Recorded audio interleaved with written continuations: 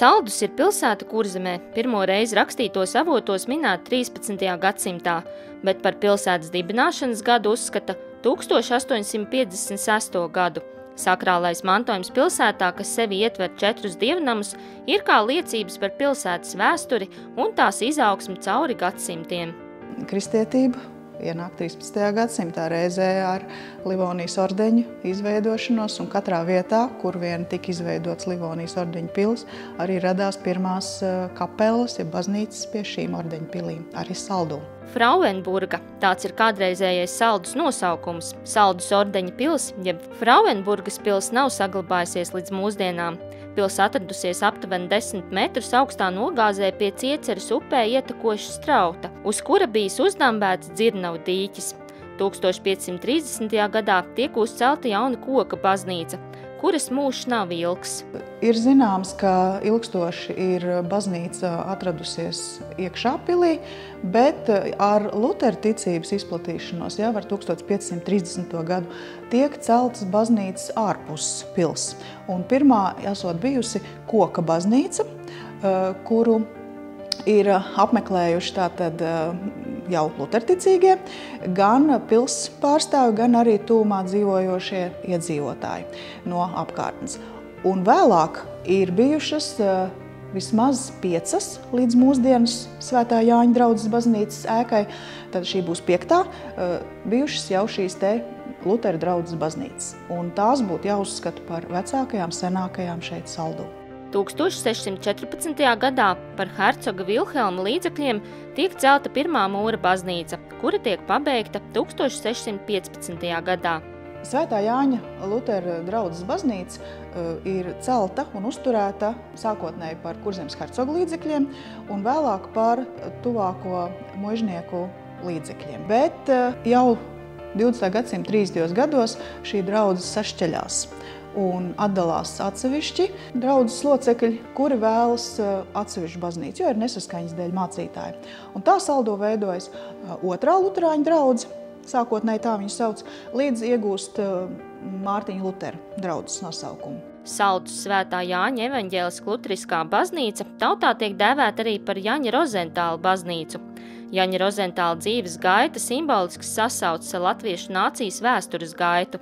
Var droši teikt, ka katrs Latvijā zina viņa slavenāko darbu no baznīcas. Kāpēc tad uh, Svētā Jāņa baznīca tautā tiek saukt par Rozentāla baznīcu? Tāpēc, ka no mūsu puses nākušais slavenais gleznotājs Jānis Rozentāls, mācoties Pēterburgā, ir ticis līdz tam brīdim, kad jāglezno diplomdarbs, un viņš saka, es gleznošu uh, baznīcu, sava miesta baznīcu un vienkāršos cilvēkus, kas šī vietā dzīvo.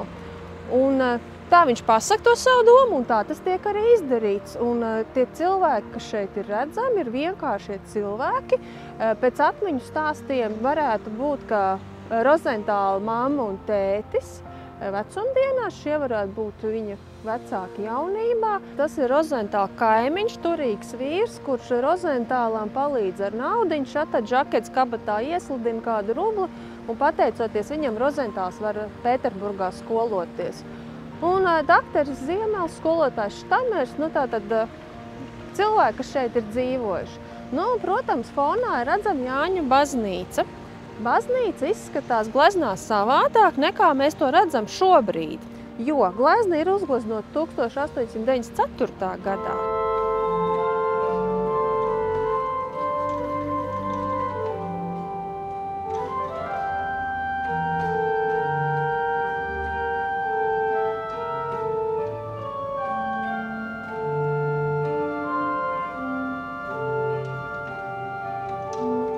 Salds baznīca ir vienīgā baznīca ļoti plašā apkārtnē.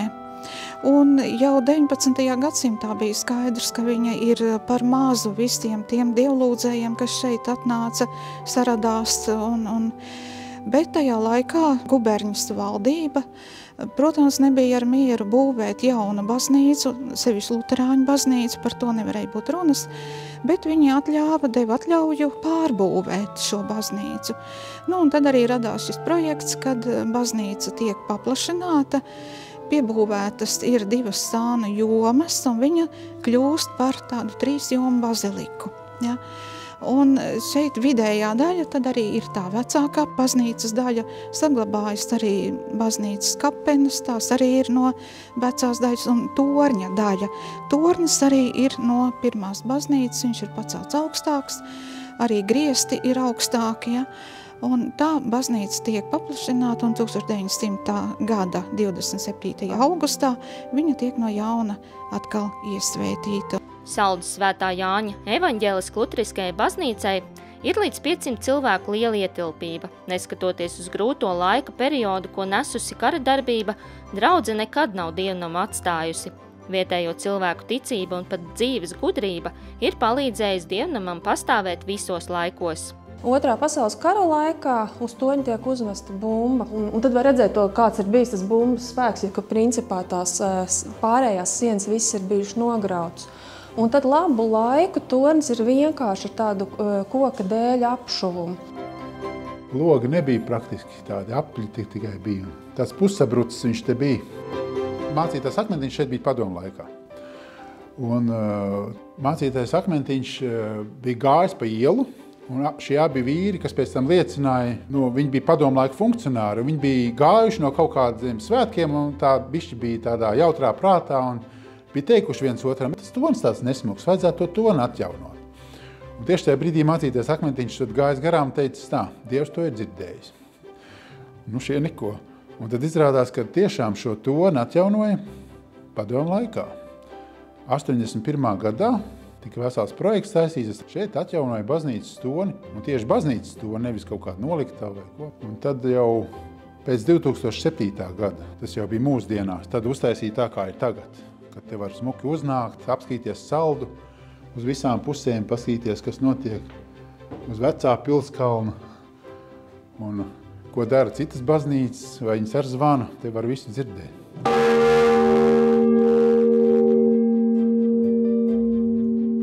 Baznīcas zvanā lasāmi Jāņa evaņģēlī 13.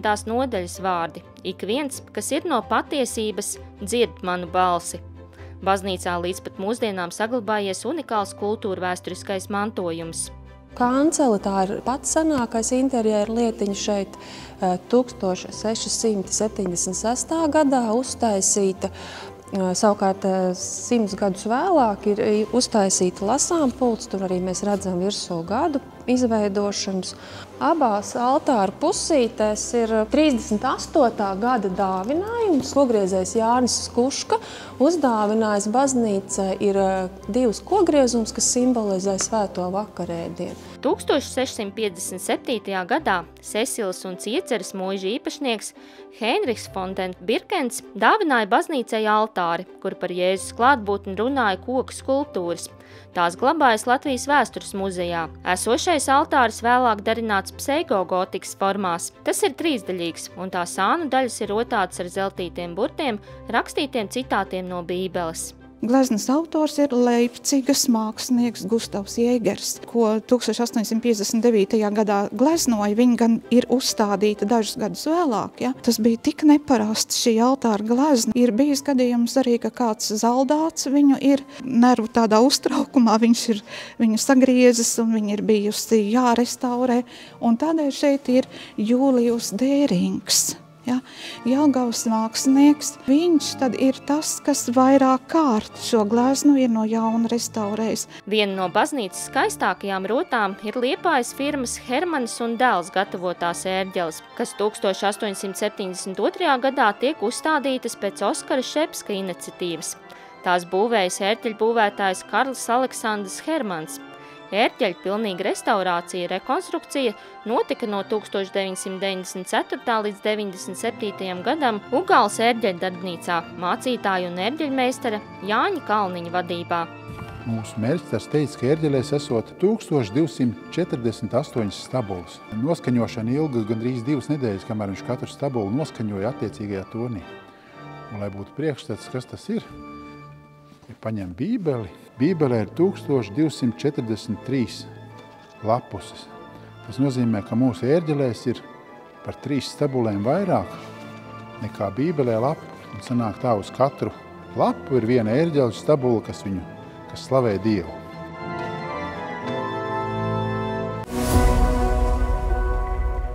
Kad 1930. gadā saldū, sanākot kopā 711 cilvēkiem, izveidojās otra evaņģēliska luteriskā draudze, tai bija nepieciešama sava baznīca. Saldus un apkārtnes turīgāko mājas saimnieki rūpīgi ķērās pie jaunas baznīcas celtniecības, ziedojot tai līdzekļus, būvmateriālus, transportu un darba spēku. Baznīca tika uzcelta 1934. gadā pēc arhitekta Dreimaņa projekta – Ēkas arhitektūrā izmantotas gotikas un romānikas formas. 13. maijā bija zvanu ielika iesvētīja, aiziesim līdz zvanam, un vasaras svētkos 20. maijā tika iesvētīta 34. gads.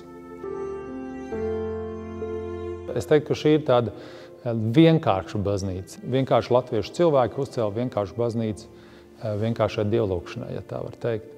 Un šis saldus, kā Mārtiņa Lutera vārds, tas arī rada tādu, tādu vienkāršību. Mārtiņš Luters arī pats bija diezgan vienkāršs savā būtībā. Viņš izakcentēja to, ka nav svarīgas tās lielās skaistās lietas vai greznās, bet viss tādā vienkāršībā. Baznīca ir cietusi no gaisa uzlidojumiem kara laikā. Tika bojāts arī draudzes inventārs, daļa no tā zaudēta. Dievnams ir ietilpības aptuveni 360 cilvēki, plus mīnus, ja kāds krēsls ieliek vai kā ar vairāk. Tas ir tas šobrīd. Nu, Covid laikā mēs varam uzņemt tos 36 vai līdz 40, kā tas ir atļauts. Bet jā, tas ir tas, tā mūsu ietilpība. Un bijuši laiki, kad baznīca bijusi pilna. Un, un arī tagad vēl svētkos ir diezgan papilns. Jā. Glezna, ko jūs redzat, ir Dolmaņa glezna, kas ir jau diezgan sena. Tas ir 39. gadā veselu pusgadu šis mākslinieks šo gleznu gleznoja. Un, un tā ir gleznot šeit apkārtnē, tāpēc tur arī tādi latviski skati ir. Jēzus, kas tā kā austrum, no austrumiem cilvēks un tie latviskie skati. Un tas tā saliek kopā, ka Jēzus ir klātsošs mums šodien tur, kur mēs esam. Var tikai apbrīnot, ar cik lielu mīlestību, pacietību un izturību draudzes locekļi ir strādājuši un turpina strādāt pie baznīcas atjaunošanas. Mēs esam ļoti pateicīgi visiem, kas atbalsta draudzē. Um, ir, ir kādi, kas ir aktīvāki cilvēki, un viņi ikdienā tos, tos atbalstu dod. Ir kādi, kas nav tik aktīvi, bet tad, kad ir kāda vajadzība, viņi saka, jā, baznīcai nav runa, kāds noziedo malku, kāds ziedo materiāls, jā, bruģis mums no brikeres ir, uh, un, uh, un cits, kāds cits materiāls vai kam vajadzīgs logi. Mums no baznīcas ir atbalsts bijis, vai ne, no mums Lutrāņu baznīcas vadības. Nu tā, un tā kā esam pateicīgi un turpinām to darbu, ko mūsu priekšteču vadītāji ir iesākuši, un eh, ar Dievu palīgējam tālāk. Šis zvans ir no baznīcas celšanas brīža, 34. gada 13. maijā iesvētīts. Un, uh, to gatavoja Liepājas drāšu fabrika. Nu, tad tur izgatavots, atvests, uz, uzlikts un iesvētīts. Un vēl joprojām labi kalpo. Es gan labi varu dzirdēt uh, no attāluma. Priecājamies. Šobrīd uh, tie ir no cilvēku viedokļi. Šodien mums ir veseli divi zvaniķi draudzē, kuri tad uh, viens vai otrs uh, zvana. Un, uh, jā, par to priecājamies. Baznīcu ikdienā apmeklē ģimenes ar bērniem, tādēļ dievnam aizmugurējā daļā ir iekārtots bērnu stūrītis. Es nevaru teikt, ka mums ir šausmīgi daudz ģimenes, bet tās, kas ir, tās nāk regulāri. Un tas, man liekas, ir labi. Un, un nāk visi kopā. Un tā kā visi ģimene, vīrs, sieva un bērni lielākoties. Un tas, tas ir tas, jā, tā, tā ir tas mūsu uzdevums nodot nākamām paudzēm. Nodot nākamām paudzēm to, ticību, ko Dievs ir ielicis jau vairāk tūkstošu gadu atpakaļ. 1897. gadā likts pamatakmens saldus pareizticīgo baznīcas sēku būvēi. Pareizticīgo draudze nostiprinājās un paplašinājās Krievijas valdīšanas laikā līdz Pirmajam pasaules karam. Но на самом деле, когда мы стали в исторических э, материалах исследовать, то все-таки это не женский город, а фрауен – это не только перевод как женщина, но и как госпожа. А госпожой э, называют Божью Матерь. Поэтому э, можно сказать, что город Пресвятой Богородицы. В 1889 году была создана православная община в городе Фрауенбург. А в 1890 году были выделены средства на покупку земли для общины. Примерно 10 лет строился сам храм. Был освящен антиминс, и богослужения совершались сначала в доме. В 1898 году был освящен храм в честь крещения Господня. Это единственный храм в Латвии, который носит э, это имя. Андрис Стипрес. Это был первый священник нашего храма. Blakus baznīcai atrodas mācītāja māja, kas celta pareizticīgo mācītāju māju būvniecībai neraksturīgā stilā, no koka, tā saucamajā vasarnīcu stilā, ar lielām jumta pārkarēm, rotātiem spārnu galiem un koka mežģīnēm. Во время Первой мировой войны пришлось эвакуировать много церковного имущества. Часть удалось вывести э, где-то в те места, где не велась война, а часть имущества церковного было разграблено, и церковь пришла в запустение, и приход уменьшился в два раза. Прекратились, можно сказать, регулярные богослужения. А Вторая мировая война, об этом архивы много не пишут. Видимо, сам архив был утерян.